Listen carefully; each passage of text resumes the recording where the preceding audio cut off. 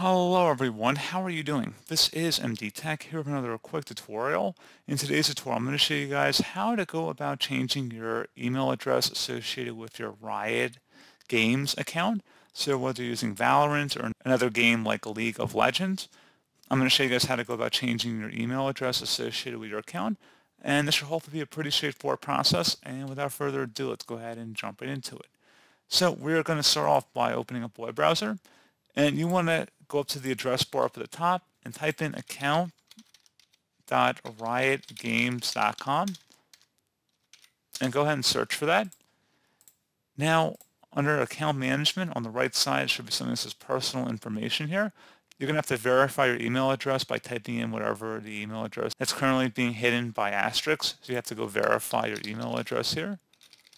Let's go ahead and type that in. And then you'll select Save and Verify and then you're going to get an email.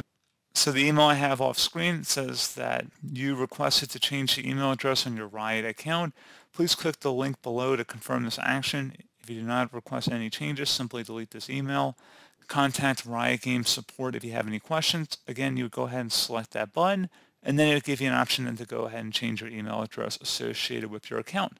So pretty straightforward process, guys. I hope I was able to help you out, and I do look forward to catching you all in the next tutorial. Goodbye.